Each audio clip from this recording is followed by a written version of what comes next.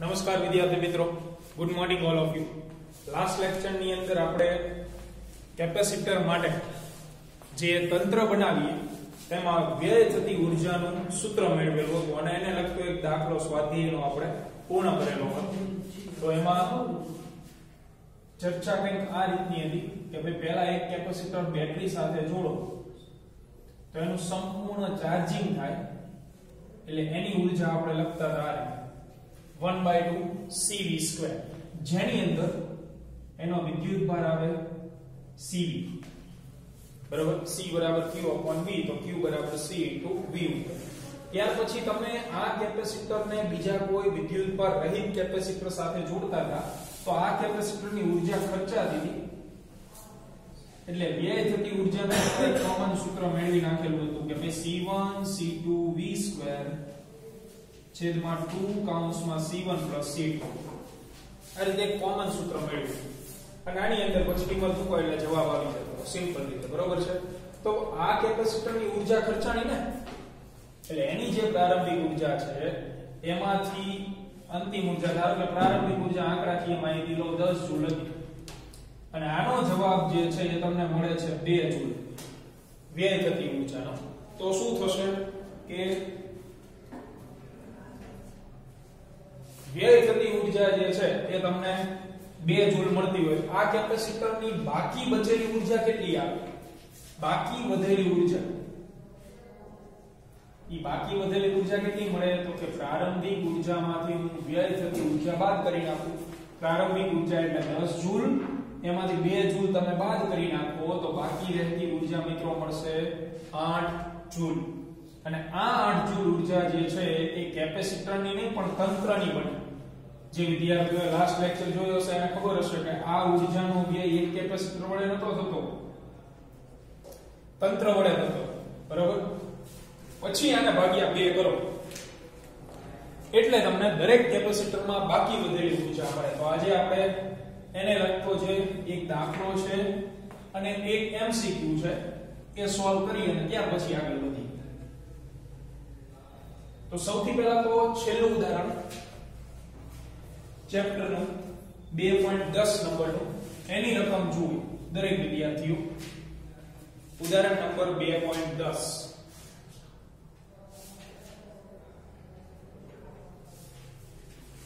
તો એમાં રકમમાં કીધેલું છે કે નવસો 900 પાઇકોફેરાડના કેપેસિટરને 100 વોલ્ટની બેટરી વડે વિદ્યુત વિદ્યુતભારિત કરવામાં આવે છે. તો કેટલી ઊર્જા સંગ્રહવામાં આવશે પ્રશ્ન નંબર 1 સિમ્પલ એક. C1 0 નવસો ગુણ્યા દસ ની માઇનસ બાર ફેરાડ અને સો વોલ્ટની તમને બેટરી આપેલી છે તો કેટલી ઉર્જા સંગ્રહ પામે તો C1 કેપેસિટરમાં સંગ્રહિત ઊર્જા તો ઊર્જાના બે સૂત્ર ગોઈતા હતા આપણે Q2 2C 1 2CV2 so here we can use 1 by 2 cv2 કિંમત મૂકીએ c1 ની જગ્યાએ 900 ગુણ્યા 10 ની માઇનસ 12 અને v સ્ક્વેર 10 10 ટુ 4 આનું સાદુરૂપ આવશો એટલે મળશે 4.5 10 ની માઇનસ 6 જૂલ. કારણ કે 4 ને 2 6 થઈ ગયો છે. અને માઇનસ 12 પ્લસ 6 એટલે માઇનસ 6 9 ભાગ્યા 2 4.5 તો આ પ્રથમ કેપેસિટરમાં સંગ્રહ પામેલી ઊર્જા મળી ગઈ આપણને. ક્વેશ્ચન નંબર બીજું. વાંચો એની રકમ. તો એમાં શું કીધેલું છે કે આ કેપેસિટરનું બેટરીથી જોડાણ દૂર કરીને 900 પાઇકોફેરાડના બીજા વિદ્યુતભાર રહિત કેપેસિટર સાથે જોડવામાં આવે. તો આ તંત્ર વડે કેટલી સ્થિતિ ઊર્જા સંગ્રહ પામશે આપણે સૂત્ર જે મેળવવું છે એ વ્યય થતી ઉર્જાનું મેળવેલું છે. બરોબર? જે લાસ્ટ ટાઈમ આપણે મેળવી ગયા હતા. તો બે માર્કમાં દાખલો પૂછેલો. તો પછી સૂત્ર તારવવા જવાની આપણે કોઈ જરૂર નથી. સીધે સીધું મૂકી દેવાનું કે ભાઈ C2 તરીકે બીજું કેપેસિટર પણ મને એટલું જ આપેલું છે. 900 પાઇકોફેરાડ જ્યાં હું ફેરાડમાં એને કન્વર્ટ કરી નાખું. જે વિદ્યુત ભાર રહિત છે.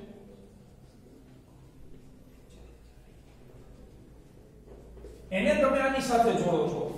તો તંત્ર વડે કેટલી ઉર્જાનો સંગ્રહ થશે એવું પૂછેલું છે. તો સંગ્રહ થતી ઉર્જાનું સૂત્ર આપણી પાસે નથી, પણ વ્યય થતી ઉર્જાનું છે. તેથી તંત્ર વડે વ્યય થતી ઊર્જા યાની કે ડેલ્ટા યુ. અને એનું સૂત્ર મિત્રો આપણે મેળવી ગયા હતા C1 C2 V2 upon 2 કૌંસમાં C1 C2 આની અંદર મૂકીએ કિંમત. તેથી delta U is equal to C1 અને C2 બે સમાન છે, એટલે અહીંયા હું સીધે સીધું લખી નાખીશ. 900 ગુણ્યા 10 ની માઇનસ 12 એનો વર્ગ કારણ કે આ બંનેને તમે ગુણાકારમાં મૂકશો. તો એનો સીધો સ્ક્વેર v સ્ક્વેર યાની 10 રેઝ ટુ 4 અપોન 2 કૌંસની અંદર c1 c2 એટલે 900 900 1800 10 ની માઇનસ 12 તો આનું સાદુરૂપ આપી દો. તો આ તમને મળશે 2.25 10 ની માઇનસ 6 જૂલ બરાબર 2.25 10 ની માઇનસ છ જૂલ મળશે. પણ મિત્રો, બહુ વ્યવસ્થિત રીતે સમજો તમે આને. કે ભાઈ, આ ઊર્જા મને સંગ્રહ થતી મળતી નથી. કઈ મળે છે? વ્યય થતી ઊર્જા મળે છે. અને તમને રકમમાં પૂછેલી કઈ છે? સંગ્રહ પામતી. એ પણ તંત્ર હોય. કારણ કે અહીંયા તંત્ર બની ગયું એક કેપેસિટર આ, બીજું C1 આ બંને ભેગા થઈ આટલી ઊર્જાનો વ્યય કરે છે. હતી કેટલી? આટલી. કારણ કે બીજું કેપેસિટર તો લખવું હતું ને. એની પાસે કઈ ઊર્જા નથી. હતી આની ઊર્જા એમાંથી બે કેપેસિટર ભેગા થયા એટલે આટલી ઊર્જા ખર્ચી નાખી. તો બાકી કેટલી વધી હશે? આમાંથી તમે આ બાદ કર દો નો ડાઉટ જવાબ આટલો જ આવે. પણ બેમાં અલગ અલગ વસ્તુ રહેલી છે. ધ્યાન રાખજો. અહીં તો બાય ચાન્સ તમને મૂલ્ય સરખા આપેલા છે ને એટલે જવાબ સરખા આવે છે. બધા દાખલામાં બધા એમસીક્યુ એવું બની શકે નહીં. તો કન્ટેન્ટ પકડો. એટલા માટે વ્યય થતી ઊર્જા મને મળી ગઈ. તેથી, બંને કેપેસિટર વડે અથવા તમે સાદી ભાષામાં કહી શકો, બે કેપેસિટરના બનેલા તંત્ર વડે સંગ્રહ પામતી ઊર્જા ધેટ ઇઝ પ્રારંભિક ઉર્જામાંથી વ્યય થતી ઊર્જા બાદ કરી દો એટલે કે U1 minus delta U U1 એટલે 4.5 10 ની માઇનસ 6 એમાંથી તમે આટલું બાદ કરો તો ટેકનિકલી જવાબ એટલો જ મળશે બે પોઈન્ટ પચીસ દસની માઇનસ છ joule. But you have to write this બરોબર? અહીંયા સુધી લખો માર્ક તપાસ. કારણ કે વ્યય થતી ઊર્જા અલગ વસ્તુ છે, સંગ્રહ થતી ઊર્જા અલગ વસ્તુ છે. અને આ સંગ્રહ ધ્યાન રાખજો. બે કેપેસિટર વડે થાય છે. બાય ચાન્સ તમને એમ પૂછ્યું હોત કે એક કેપેસિટર વડે સંગ્રહિત ઊર્જા કેટલી? તો હજી આનો એક કટકો કરી નાખો. હજી આના ભાગ્યા તમારે બે કરવા પડે. એટલે તમને એક કેપેસિટર અથવા તો દરેક કેપેસિટર વડે સંગ્રહિત ઊર્જા મળે. એટલે અહીંયા એ પણ હું તમને લખી આપું. કે જો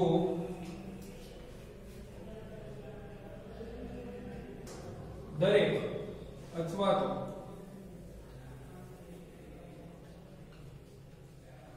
માત્ર એક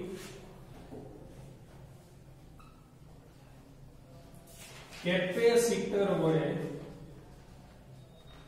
સંગ્રહિત ઊર્જા પૂછે તો તો તમને આ સંગ્રહિત ઊર્જા તંત્રની મળી. એને ભાગ્યા બે કરવાનું રહે 2.25 10 ની માઇનસ 6 ભાગ્યા 2 અને અહીંયા તમને જે મળે, જૂલમાં જવાબ, એ તમારો માત્ર એક કેપેસિટર વડે સંગ્રહિત ઉર્જાનો જવાબ થશે. બરાબર? આખી ચર્ચા ખબર પડી જાય છે? એક હતું કેપેસિટર, એની ઊર્જા આટલી પછી એને બીજા લુખા કેપેસિટર સાથે આપણે જોયું તો ઉર્જાનો વ્યય થયો. એ વ્યય બંને કેપેસિટર વડે થયો. બંને ભેગા મળીને આટલો વ્યય કર્યો. તો બાકી કેટલી ઊર્જા રહે? તો પ્રારંભિક ઉર્જામાંથી વ્યય થતી ઊર્જા બાદ કરો. એટલી ઊર્જા બાકી રહે. અને આ ઊર્જા બે કેપેસિટરની ગણાય. જો તમને એક કેપેસિટરની પૂછે તો આ ઉર્જાને તમારે બે વડે શું કરવાનું રહેશે? ભાગી નાખવાનું રહેશે. પણ શરત કે કેપેસિટન્સ સમાન આપેલું હોવું જરૂરી છે. બરોબર છે? તો નોટ ધીસ ડાઉન મહત્વનું. એટલે બે માર્કમાં હોય તો તમારે નો ડાઉટ સીધે સીધું સૂત્ર મૂકવાની છૂટી છે. પણ જો બે માર્કમાં પૂછેલું ન હોય, તો તમારે ફરજિયાત દાખલો જે છે એ ગણવો પડે. ચલો. આને લગતા હવે એમસીક્યુઝ જે છે, એ તમે સોલ્વ કરતા રહેજો. પ્રશ્ન થાય તો પૂછતા રહેજો. બાકી જેડબલી નીટના લેક્ચરમાં આપણે વધારે એમસીક્યુઝ સોલ્વ કરાવી આપીશું. આગળ વધીએ નવા ટોપિક સાથે.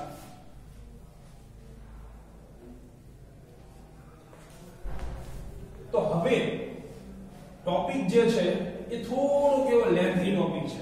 એટલે વ્યવસ્થિત રીતે સજાગ થઈને ધ્યાન આપજો. કારણ તો ડાઇલેક્ટ્રિક અચળાંક એને હવે તમારા કેપેસિટરની બે પ્લેટ વચ્ચે દાખલ કરવાનો છે. જેમ ચેપ્ટર નંબર 1 ની અંદર આપણે કરતા હતા. કે ભાઈ બે વિદ્યુત ભારોના તંત્રને હું કે ડાઇલેક્ટ્રિક અચળાંક ધરાવતા માધ્યમમાં મૂકું, તો શું થાય? બળ શું થઈ જાય? કે માં ભાગ યા છે? બે વિદ્યુત ભારો હવામાં હોય અને બળ લાગતું હોય, એ બે વિદ્યુત ભારને તમે ડાઇલેક્ટ્રિક અચળાંક ધરાવતા માધ્યમમાં મૂકો તો બળ કે માં ભાગનું થઈ જાય. અને જો માધ્યમ દૂર કરો તો બળ શું થાય? કે ગણું થશે. બરોબર? એવું આપણે ચેપ્ટર 1 માં શીખાતા. હવે આપણે કેપેસિટન્સ વિશે ભણવાનું છે તો કેપેસિટન્સ વિશે આગળ ભણીએ. અને એ થિયરી પણ મહત્વની ત્રણમાં તો એના માટે હું તમને એક મહત્વની જાણકારી પહેલા આપી દઉં. કે ભાઈ કેપેસિટર માટે બે પ્લેટ આવશે. જે દરેક વિદ્યાર્થી જાણે છે. અને બે પ્લેટમાં વિદ્યુત ભાર કોઈ દિવસ સમાન ના હોય. એક ઉપર ધન હોય, તો બીજા ઉપર એટલો ને એટલો ઋણ હોય. હવે તમે વિચાર કરો કે ભાઈ આ છે પ્લેટ નંબર 1 આ છે પ્લેટ નંબર બીજી. તો પ્લેટના લીધે ઉદ્ભવતું વિદ્યુત ક્ષેત્ર ચેપ્ટર 1 માં આપણે મેળવી ગયા પ્લેટના લીધે ઉદ્ભવતું અલગ અલગ વિદ્યુત ક્ષેત્રો અલગ અલગ પ્રકારના હોય.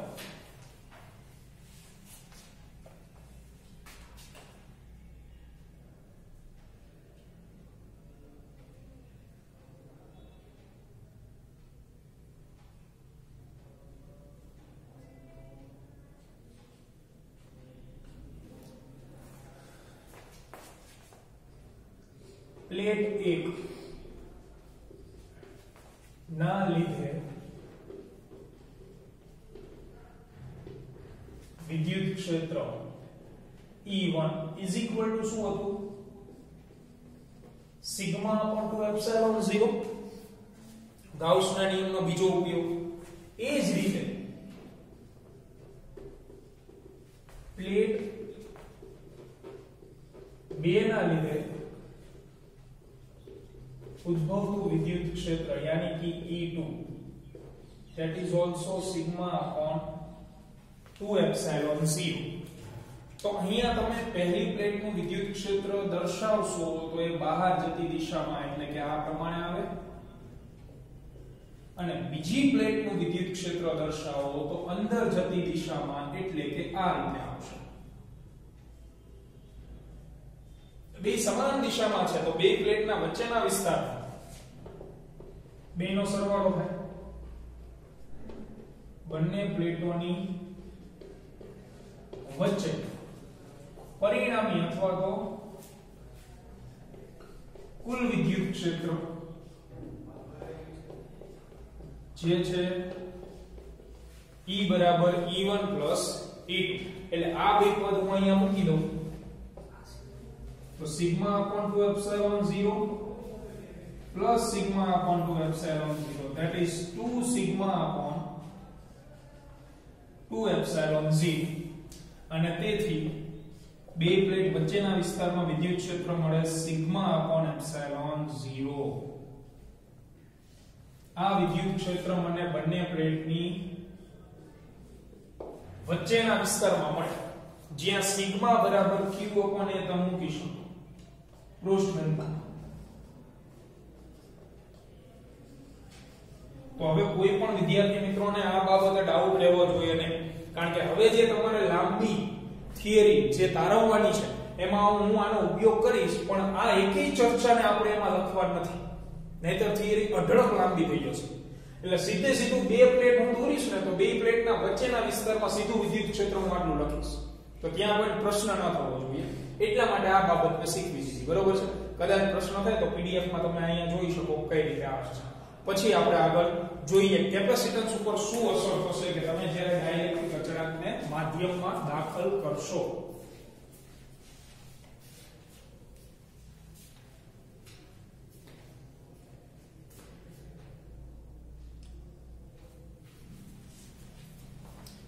ત્રણ માર્કનો મહત્વનો પ્રશ્ન અને ચેપ્ટરની છેલ્લી થિયરી લાસ્ટ થિયરી એટલે કે સૂત્ર તારણ બરોબર છે? તો ધ્યાન આપજો.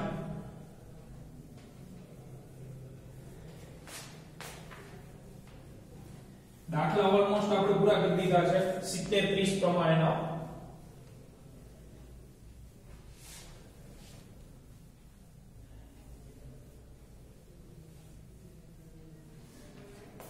તો પ્રશ્ન કંઈક આ રીતે પૂછાઈ શકે.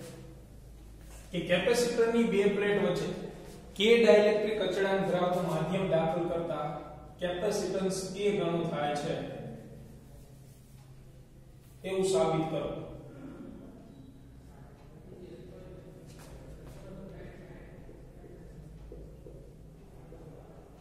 કેપેસિટરની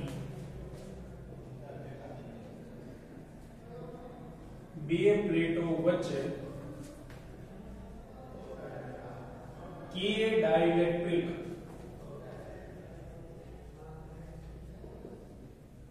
અચળાંક ધરાવતું માધ્યમ અથવા તો ચોસલું મુક્તા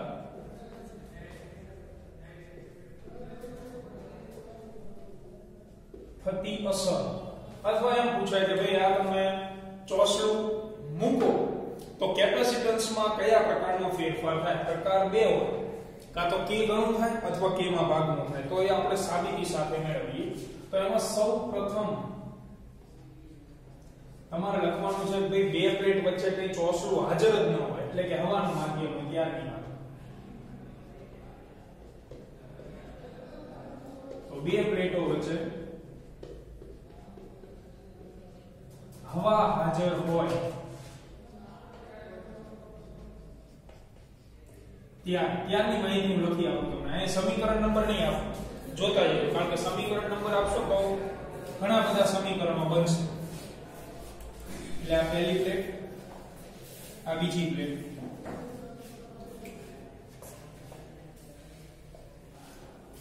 આના ઉપર ધન વિદ્યુત ભાર છે. આના ઉપર ઋણ વિદ્યુત ભાર છે. એટલે વિદ્યુત ક્ષેત્ર જે છે, એ આ તરફ છે પ્લસથી માઇનસ એને તમે કહી શકો ઇલેક્ટ્રિક ફિલ્ડ આઉટસાઇડ બાહ્ય વિદ્યુત ક્ષેત્ર.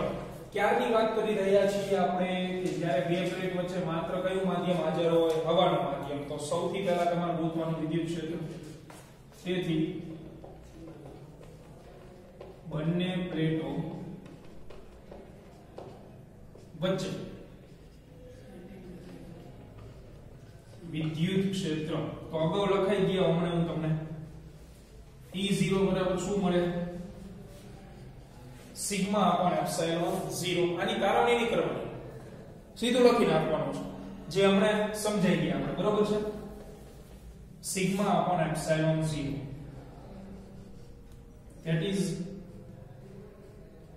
equation number 1 સમીકરણ નંબર 1 જ્યારે બે પ્લેટ વચ્ચે હવા આવે એટલે સફિક્સમાં 0 લખતા છે. દર આના ઉપરથી હું સ્થિતિમાન મેળવું. એટલે બીજું સ્ટેપ તેથી બે પ્લેટો વચ્ચે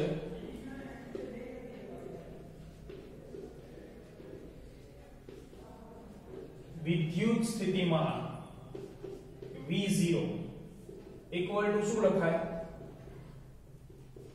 તો E0 d. આ તમને ખ્યાલ છે. વિદ્યુત સ્થિતિમાન અને વિદ્યુત ક્ષેત્ર, આ બંને વચ્ચેના સંબંધનું સૂત્ર આપણે અગાઉ મેળવી ગયા છીએ. ચેપ્ટર નંબર 2 એટલે કે આ ચેપ્ટરમાં આગળ V બરાબર ER મેળવવું તો V બરાબર ED આ હવા હોય ત્યારનું સ્થિતિમાન ઇક્વેશન નંબર 2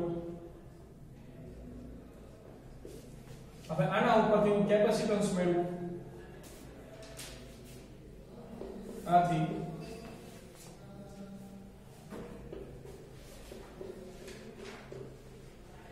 કેપેસિટન્સ C0 ક્યારની આપણે ત્રણે ત્રણ કેસની ચર્ચા ક્યારે કરી રહ્યા છીએ? માત્ર હવાનું માધ્યમ હાજર હોય ત્યારે તો કેપેસિટન્સ C0 બરાબર લખાય. Q V0. એની વ્યાખ્યા મુજબ કેપેસિટન્સનું સૂત્ર શું છે? વ્યાખ્યા મુજબ C બરાબર Q V. તો Q V0. V0 મૂકો ત્યાં. તેથી Q E0 D.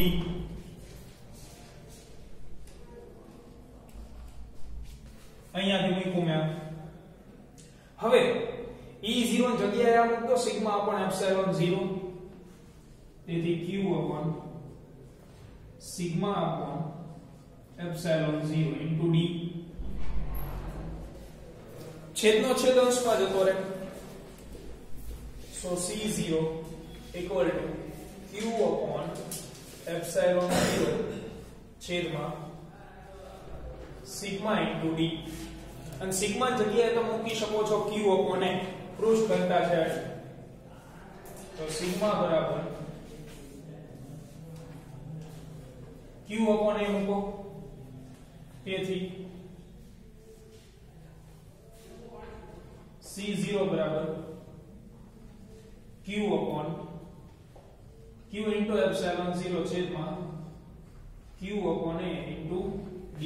આ q કેન્સલ તો c0 is epsilon 0a upon d. આ સમીકરણ નંબર 3 છે અને આ યુને એ ચોથું સમીકરણ. તો ટોટલ તમને ચાર સમીકરણો જે છે મળે. આ આપણે અગાઉ ચર્ચા કરી ગયા હતા. બે માર્કનું સૂત્ર મેળવ્યું બે અથવા ત્રણ માર્કનું. સમાંતર પ્લેટ કેપેસિટન્સનું સૂત્ર મેળવ્યું ત્યારે આવ્યું હતું આ? બરાબર? તો આ આખી આખી ચર્ચા તમારે લખવાની આખી ચર્ચા આપણે જ્યારે બે પ્લેટ વચ્ચે હવા હાજર હોય ત્યારની કરી હવે હું કંઈક ચોસનું અંદર દાખલ કરીશ. ત્યારે દરેક કેસને આની સાથે કમ્પેર કરતા જવાનું. પહેલા વિદ્યુત ક્ષેત્ર ગોતો, પછી સ્થિતિમાન ગોતો અને પછી કેપેસિટન્સ ત્રણ સ્ટેપ વિદ્યુત ક્ષેત્ર સ્થિતિમાન કેપેસિટન્સ હવે હું ચોસનું દાખલ કરું, ત્યારે વિદ્યુત ક્ષેત્ર લખશું. પછી એના ઉપરથી સ્થિતિમાન લખશું અને પછી એના ઉપરથી કેપેસિટન્સ લખશું. અને આની સાથે કમ્પેર કરશું એટલે ત્યાં તરત ખબર પડી જશે કે ભાઈ કે ગણું થાય છે, કે માં ભાગનું થાય છે. બરોબર તો આગળ વધી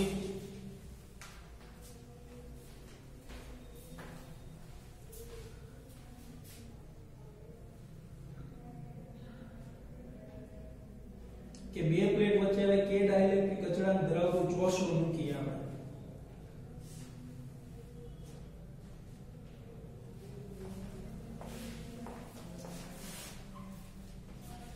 તો એની કમ્પેરિઝન આની સાથે કરશું આપણે. ચલો જોઈએ. તો આ તો બે પ્લેટ વચ્ચે હવાનું માધ્યમ હતું. હવે હું ચોસલું દાખલ કરું. જેનો ડાઇલેક્ટ્રિક અચળાંક k જેટલો હોય.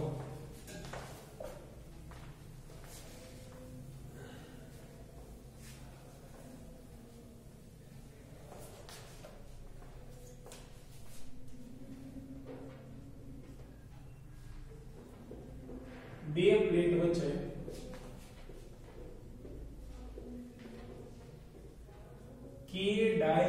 ડાઇલેક્ટ્રિક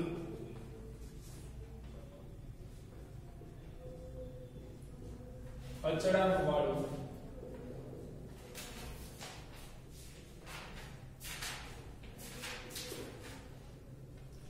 ચોસલું મુકતા તો પહેલું સ્ટેપ તો આપણો આ જ હોવું જોઈએ બંને પ્લેટ વચ્ચેનું વિદ્યુત ક્ષેત્ર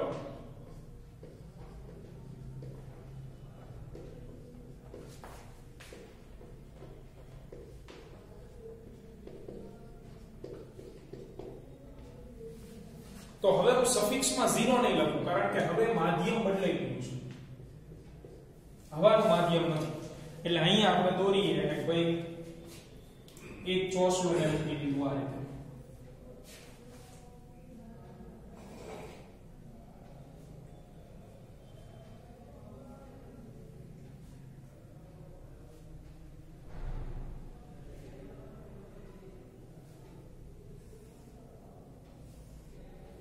આ કે ડાઇલેક્ટ્રિક અચળાંક ધરાવતું ચોસલું તો ડાઇલેક્ટ્રિક વિશે તો આપણે ભણી ગયા છે અગર ડાઇલેક્ટ્રિક એટલે શું? અવાહક. અવાહકના બે પ્રકાર હતા. ધ્રુવીય અણુ ધરાવતા ડાઇલેક્ટ્રિક અને અધ્રુવીય અણુ ધરાવતા ડાઇલેક્ટ્રિક. તો બે માં આપણે એવું શીખાતા કે ભાઈ બંનેમાંથી કોઈ પણને તમે બાહ્ય વિદ્યુત ક્ષેત્રની હાજરીમાં મૂકો. તો અંદર વિદ્યુત ભારોની વહેંચણી થઈ જાય અને બધા વિદ્યુત ભારો સપાટી ઉપર જમા થઈ જશે. એટલે અહીંયા ઋણ વિદ્યુત ભાર જમા થશે. અને અહીંયા ધન.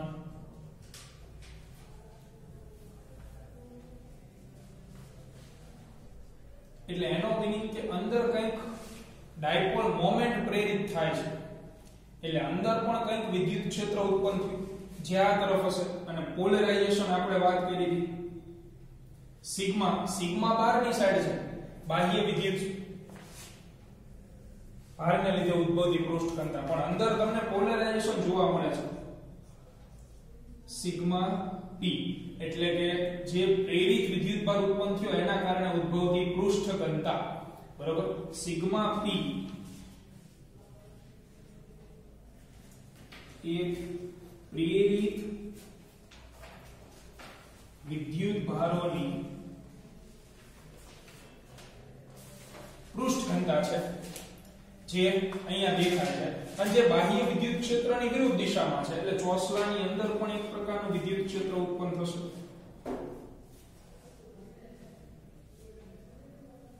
EI એટલે ઇનસાઇડ ઇલેક્ટ્રિક ફિલ્ડ જે બાહ્ય વિદ્યુત ક્ષેત્રની એક્ઝેક્ટલી કેવી દિશામાં હોય, વિરુદ્ધ દિશામાં હોય.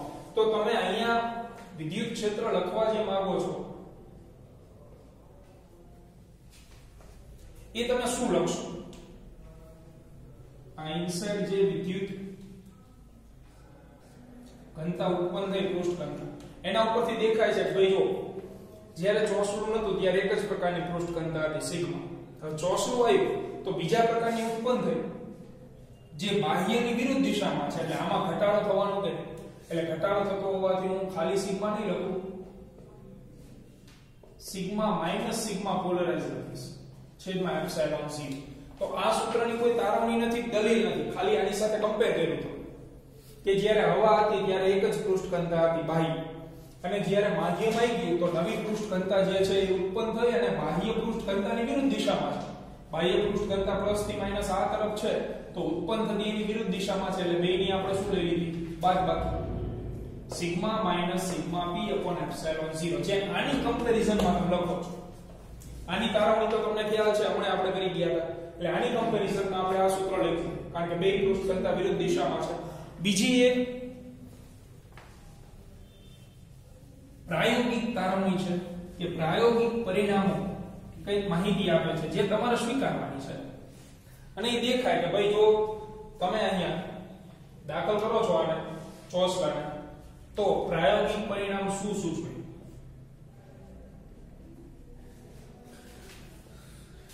તો પ્રાયોગિક તારણ મુજબ આપણે એવું સ્વીકારવાનું છે કે sigma minus sigma polarize equal to શું થશે? તો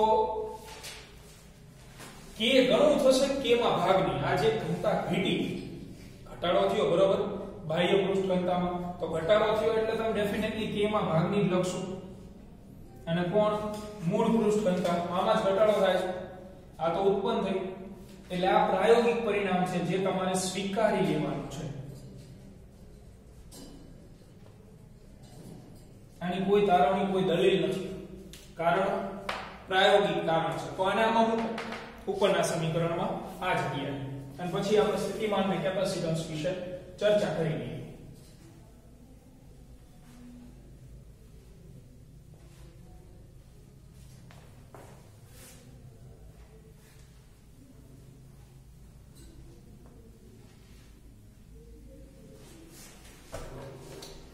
લઈએ આને અહીંયા મૂકીએ તેથી વિદ્યુત ક્ષેત્ર E બરાબર આ કાઉન્સની જગ્યાએ હું આને મૂકી દઉં છું સિગ્મા અપોન કે તો સિગ્મા અપોન કે મૂકો sigma upon epsilon 0 into K sigma by K મૂકી દીધું હોય તો આપણે હમણાં સમીકરણ નંબર 1 આપેલું હતું. સમીકરણ નંબર 1 માં સિગ્મા અપોન એપ્સિલોન 0 શું હતું? E0 તો સમીકરણ નંબર 1 પરથી E બરાબર હતું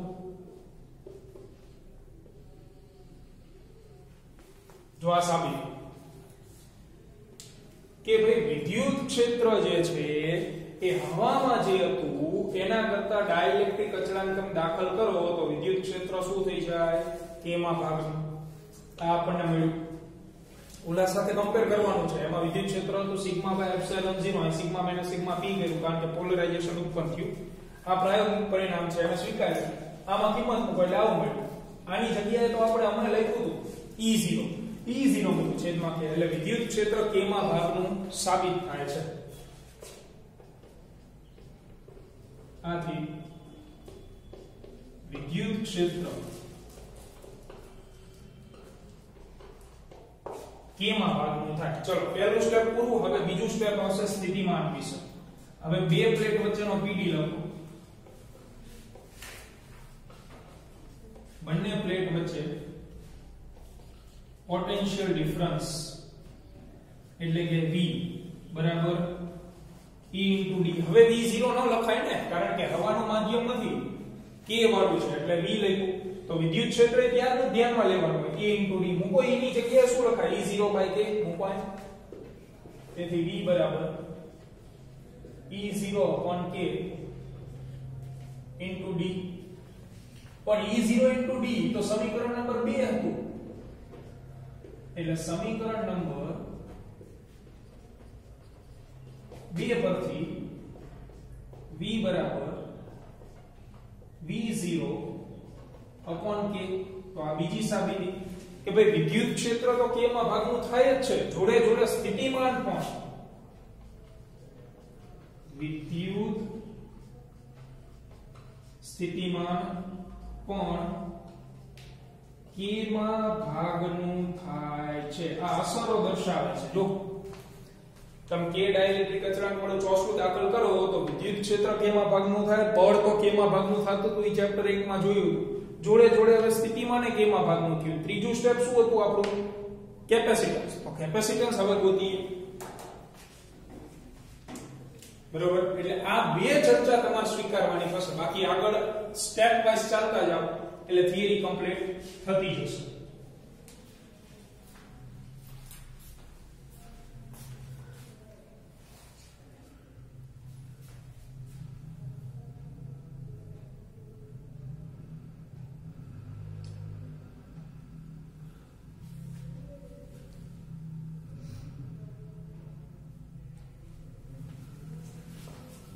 ચાલો હવે કેપેસિટન્સ ગોતીએ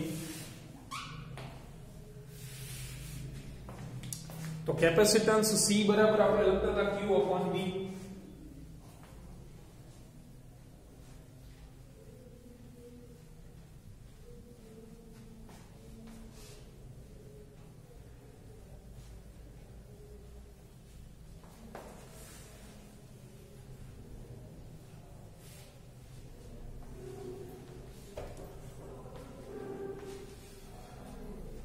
તો હવે કેપેસિટન્સ વિશે લખવાનું છે એટલે સ્ટેપ નંબર 3 કે ભાઈ બે પ્લેટ વચ્ચે કેપેસિટન્સ તો C બરાબર Q V મૂકો પણ V ની જગ્યાએ તમે શું મૂકી શકો છો V0 k મૂકીએ અહીંયા તેથી C બરાબર Q V0 k જે હમણાં જ આપણે મેળવી ગયા છીએ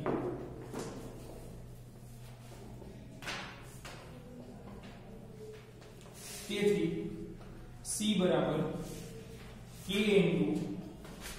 q v0 તો q v0 હમણાં આવ્યું હતું સમીકરણ નંબર 3 તો સમીકરણ નંબર 3 પરથી આની જગ્યાએ લખી શકાય છે C0 તો જુઓ કેપેસિટન્સ k માં ભાગનું નથી થતું. કેપેસિટન્સ થશે k ગણું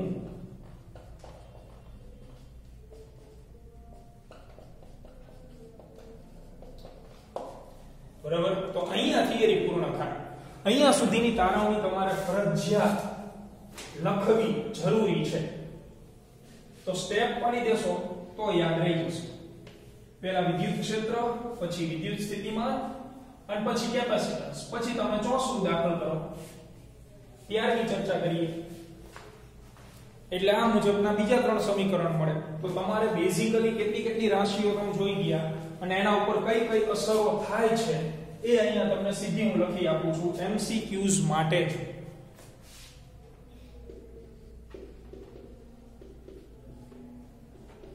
કે કે ડાઇલેક્ટ્રિક અચળાંક બળ.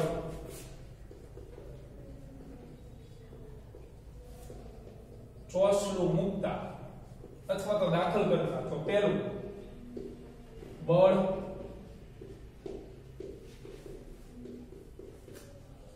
કેમાં ભાગનું થાય. જેટલું બળ આપ્યું હોય, હવામાં બળ હોય, એના કરતા કેમાં ભાગનું બીજું, વિદ્યુત ક્ષેત્ર.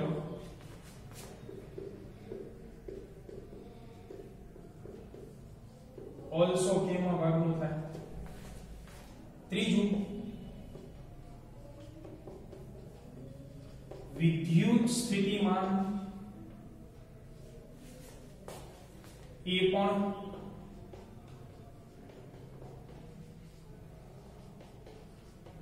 કેમાં ભાગનું જ થશે ચોથું પૃષ્ઠ ઘનતા અથવા કોઈ પણ પ્રકારની ઘનતા હોય અહીંયા સિગ્મા હતી એ પણ કેમાં ભાગની જ થાય, પણ છેલ્લું અને મહત્વનું કે કેપેસિટન્સ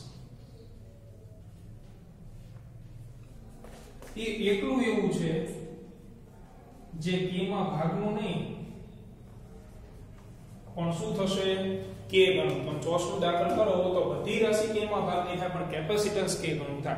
જો ચોસલું દૂર કરો, તો આ બધા ઊંધું બરાબર છે? તો આને વ્યવસ્થિત એકાદ વખત લખી નાખવી તમારે. તારવણી છે, અને તકલીફ ન પડે, એ પ્રમાણે વ્યવસ્થિત જોઈ તો ઉદાહરણના દાખલામાં દરેક બાબતો આપણે જોઈ ગયા છીએ. હવે માત્ર ને માત્ર આપણી પાસે બે દાખલાઓ જે છે, એ બાકી રહે છે. તો બે દાખલાઓ વિશેની ચર્ચા આપણે આવતીકાલે કરશું અને થોડા ઘણા એમસીક્યુ જોઈશું. અને આવતીકાલે ચેપ્ટર નંબર ટુ સમાપ્ત જાહેર કરીશું. બરોબર? તો મળીએ આવતીકાલના લેક્ચરમાં